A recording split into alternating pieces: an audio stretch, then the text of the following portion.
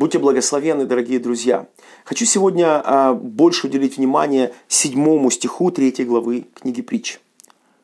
«Не будь мудрецом в глазах твоих, бойся Господа и удаляйся от зла».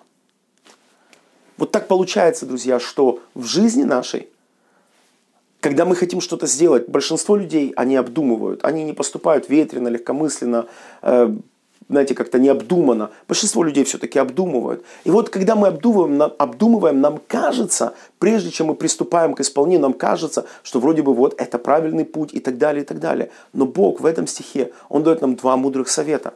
Первое, Он говорит нам, что мы должны бояться Господа, и второе, удаляться от зла. Что означает бояться Господа? Это означает поставить Бога на первое место, отдать Ему особую честь, особое почтение, что среди всех моих размышлений я должен понимать, насколько каждое из моих размышлений, каждое из моих планов, каждый из моих проектов, каждый из моих выводов, насколько они угождают Ему, насколько в них чтится Его имя и чтится Его истина. И если вдруг я обнаруживаю или понимаю в своем сердце о том, что это неправильно перед Богом, Бог говорит, удаляйся от зла. Вы знаете, так часто в нашей жизни происходят у многих людей проблемы. Почему эти проблемы происходят? Я вам хочу сказать, большая часть этих проблем связана с тем, что мы не соблюдаем вот эти две простые, два простых совета. Бойся Господа и удаляйся от зла.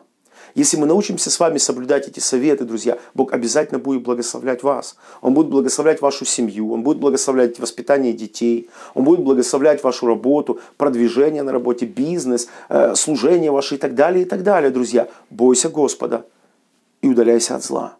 Пускай эти два совета, они станут для вас основополагающимися. Мы увидимся с вами вскоре.